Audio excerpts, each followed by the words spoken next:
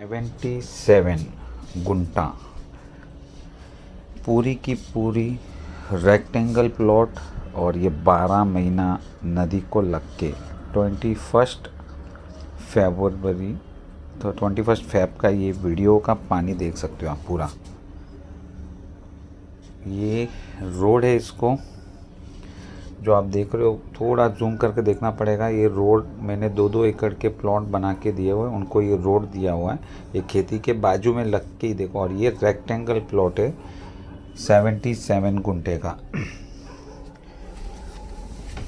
इतना छोटा प्लॉट और कल्याण अहमदनगर नेशनल हाईवे से खाली साढ़े चार किलोमीटर पे है। बहुत मुश्किल है। बहुत मुश्किल है और वो भी इतनी बड़ी नदी, एक दो किलोमीटर की नदी है।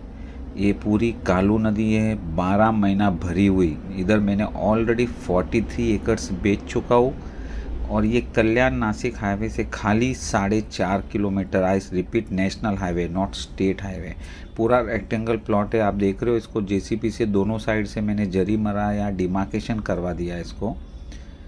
इधर देखिए, ये सामने पेड़ है, उसके उधर बाजू में रास्ता दिखेगा आपको। ये रास्ता है, देखो, ये रास्ता है, ये खेत के बीच में ये रास्ता किया हुआ इसको।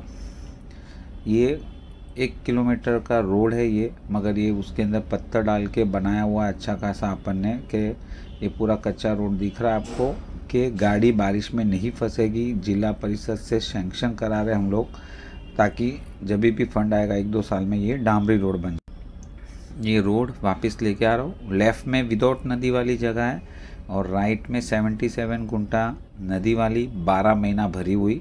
तो आप विदाउट नदी वाला भी आप जगह ले सकते हो अगर आपका बजट कम है तो मगर पानी भरपूर मिलेगा आपको।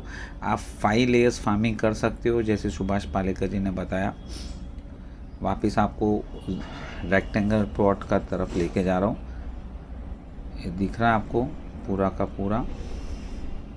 ये देखिए, पूरा रेक्टेंगल प्लॉट ये रोड से शुरू होके रेक्टेंगल प्लॉट सीधा नदी की तरफ़ जा रहा है। इसमें मैं 77 गुंटा है तो आधा